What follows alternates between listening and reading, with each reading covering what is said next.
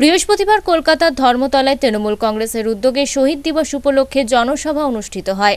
প্রধান বক্তা হিসেবে উপস্থিত ছিলেন তৃণমূল সুপ্রিমো মমতা বন্দ্যোপাধ্যায়। রাজ্যের বিভিন্ন জেলা থেকে ট্রেন ও বাসে তৃণমূল কর্মী সমর্থকরা ওই সভায় যোগদান করেন।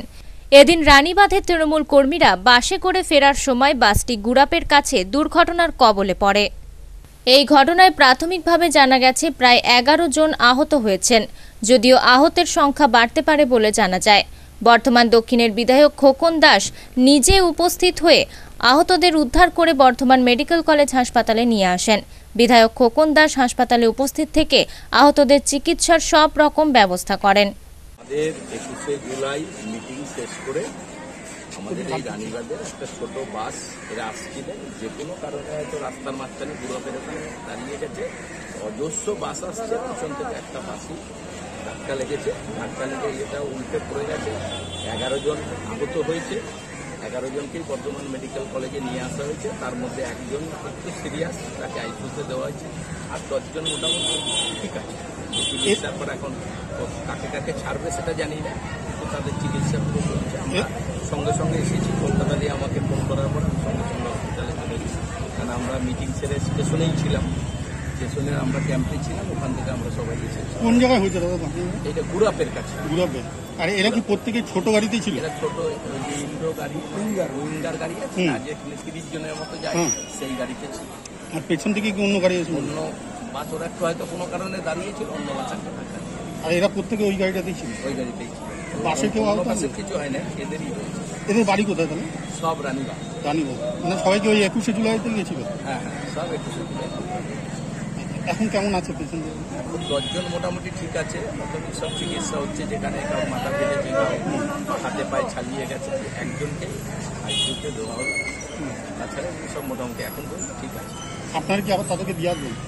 যাদের যাদের ছেড়ে দেবে কলকাতা দিয়ে বলেছে যারা যাবে তাদের আমি একটা গাড়ি করে পাঠিয়ে দেবো আজকে আমাদের একুশে জুলাই ধর্মতলায় দুটো ডাকে বাঁকুড়া রানীগঞ্জের একটা বাস তোলাই গিয়েছিল ফেরার পথে গোলাপের ওখানে একটা অ্যাক্সিডেন্ট করেছে সঙ্গে সঙ্গে আমাদের বিধায়ক খোকন দাসকে কলকাতা থেকে ফোন করেছিল যে এরকম দ্বারা একটা অ্যাক্সিডেন্ট হয়েছে, বর্ধমান হসপিটালে যাচ্ছে, আপনি তার ব্যবস্থা করেন।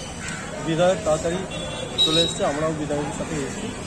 তাদের চিকিৎসা হচ্ছে।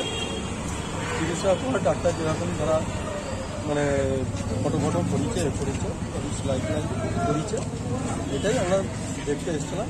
কি ফেরার সময় হয়েছে? এরা সময়। কোথায় থাকবে এরা সব এরা হচ্ছে বাঁকুড়া রানীগঞ্জ মোটামুটি কতজন আহত হয়েছে? এখন পর্যন্ত এগারো জন হয়েছে আমরা রয়েছি। যেহেতু কলকাতা থেকে বারবার নির্দেশ আসছে এবং আমাদেরও দায়িত্ব হচ্ছে বিধায়কের দায়িত্ব হচ্ছে। বিধায়কই সব করছে। যে আমরাই বলেছিলাম যে যাদের কোনো অসুবিধা যদি মানুষের হয় অবশ্যই মানুষের পাশে থাকতে হবে। এনারা কিসে ছিলেন? এরা বাসে আর কার সাথে কি হয়েছে? এরা শুনছি কেউ বলছে যে লরির সাথে কেউ বলছে উল্টে গেছে। যাই হোক ঘটনাটা যখন ঘটেছে আমরা এসেছি। আমরা এদের পাশে রয়েছি এদেরকে ভালো করেই তারপর আমরা নিহত কেউ হয়নি তো? না না। তাই আমরা ছিলাম। গোলের গায়ে এরা আসছিল বাসে করে। আসার সময় ওখান থেকে সাইড দেওয়ার সময় কোনো চাপাচাপি হয় অ্যাক্সিডেন্ট তোমরা তোমরা কি গাড়ি দিয়েছিলে আমরা অ্যাম্বুলেন্সে ছিলাম। তোমরা অ্যাম্বুলেন্সে ছিলে? আর এরা- এরা বাসে ছিল? আচ্ছা। বর্ধমান বর্ধমান আসছিল। আচ্ছা। গোপালপুর কাটাওয়ারে এটা অ্যাক্সিডেন্ট হয়। আচ্ছা। কতজন কতজন করে আমি তিনজনকে গাড়িতে তিনজন। হ্যাঁ।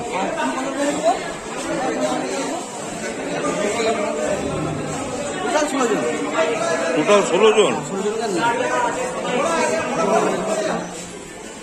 মোটামুটি মানে ক্ষয়ক্ষতি কীরকম? মোটামুটি একজন গাড়ি হয়েছে ফেটে গেছে ধাক্কা মারিছে। আপনারা কি গাড়িতে ছিলেন? উইং গাড়ি ছিলেন। কতজন ছিলেন? আমরা ষোলো জন। ষোলো জন ছিলেন?